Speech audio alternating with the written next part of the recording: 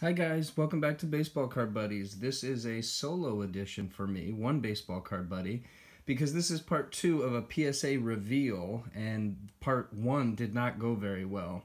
We had a disappointed baseball card buddy junior who barely wanted to finish his video because we got a 6.5 Mark McGwire, which we thought should be at least a 10.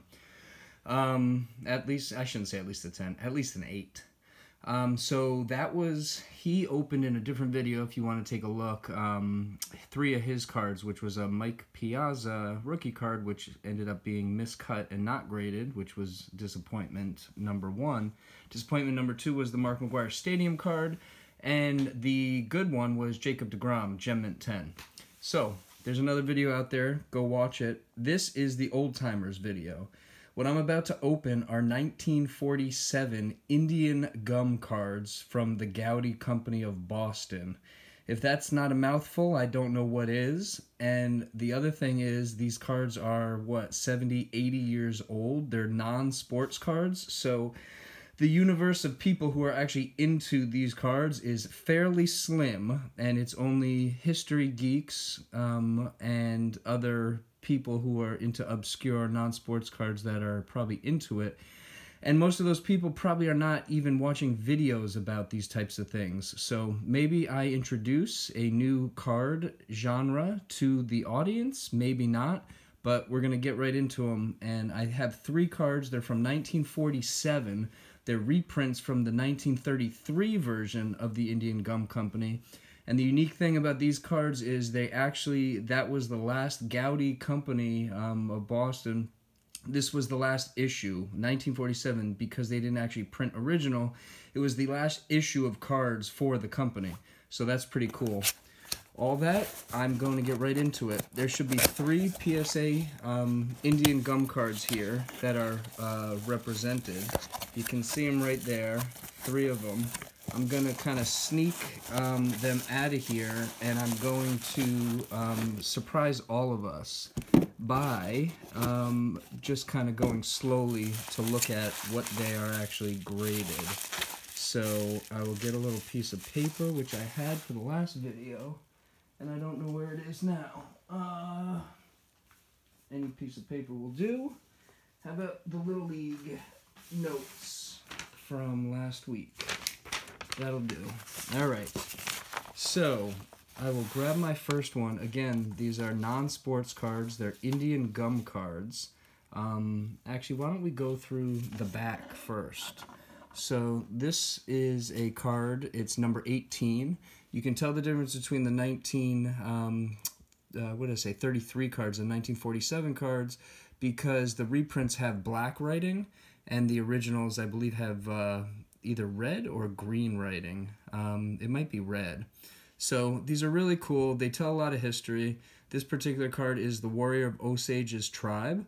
Um, gives you a little uh, Indian language there too. Uh, Tal Li means the wild wind. So it's a good specimen of an Osage's warrior. The crest on his head is made from tufts of deer hair and eagle's quills. His bow, sheaf of arrows, and shield indicate he's about to go on the warpath. In the detail there you can see it's from the Indian Gum Company. The original picture pack gum. This is one of a series of cards illustrating Indian and pioneer romantic days. Um, it's by the Goudey Gum Company. Boston, Mass, USA, makers of Oh Boy Gums. So, I'm going to tease everybody and I'm going to start at the top and I haven't even looked at this yet because I'm putting a piece of paper over it. So we'll go down so you can actually see the card first. Again, these have wonderful color. Um, you can see, I mean, this card is almost 80, 90 years old and the fact that it's still intact is remarkable let alone the colors on these. You can see the red and the purple and it is very vibrant which is kind of why i like these. As well as the history and they're super collectible.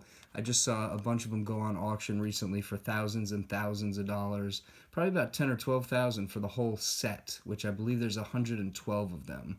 So the verdict is, I think, because of the age of this card and um, kind of the condition, I'm going to say this is.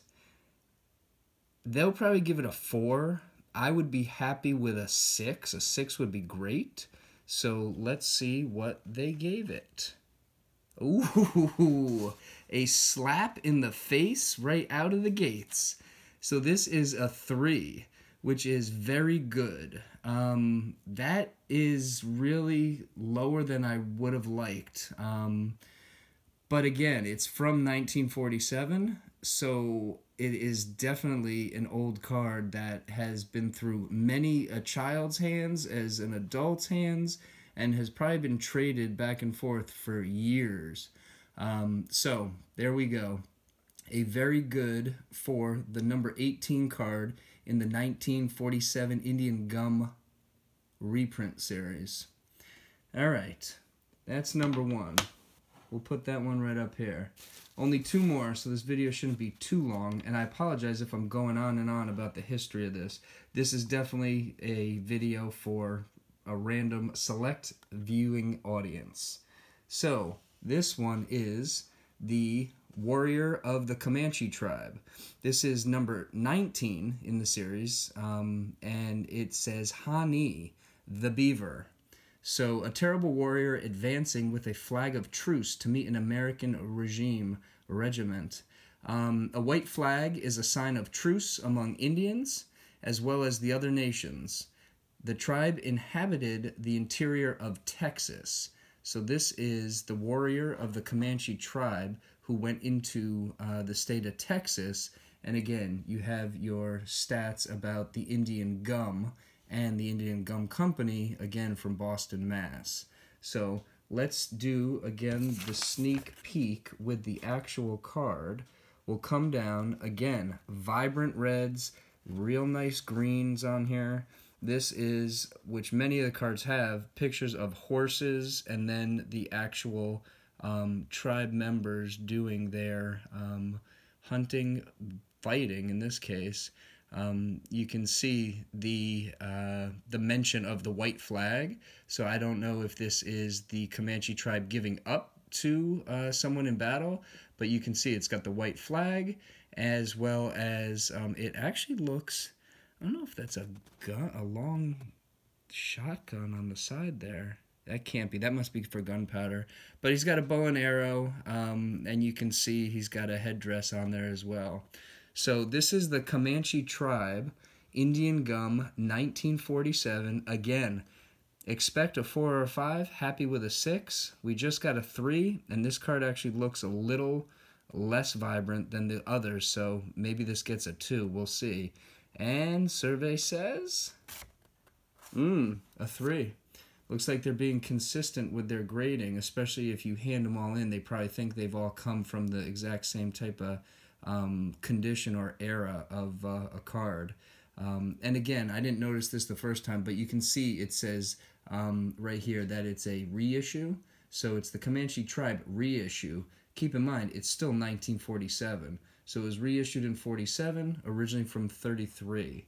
Um, I, again, think these are so cool because of how old they are and the history that they tell. But it would have been better to get a higher grade. So the first two I got are a three, um, and we have one more card, and I'll bring you right to it.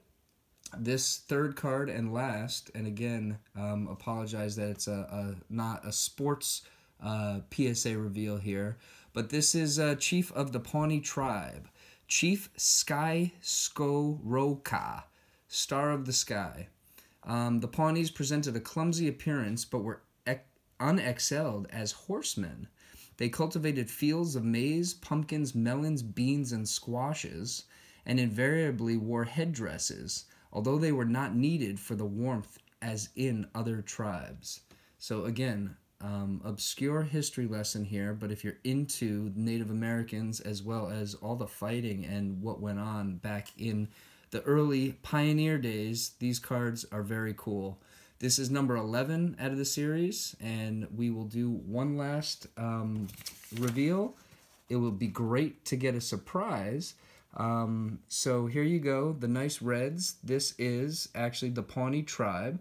So this is one of their leaders, presumably. And he's got feathers in his um, hair. You can see the cultural necklaces that he has, as well as the mention of the fur on the right hand side there that is actually um, used. It says not for, for warmth too often, but apparently uh, that's what he's got there. So let's get to the big drum roll and the last of the three cards, and it is a four. All right. Highest of the three, which um, truthfully, this one looks very well centered. Actually, now that I say that, it doesn't look very well centered compared to the others. I was going to say that's the difference between the four and the three. Um, not quite sure. So this one got a four.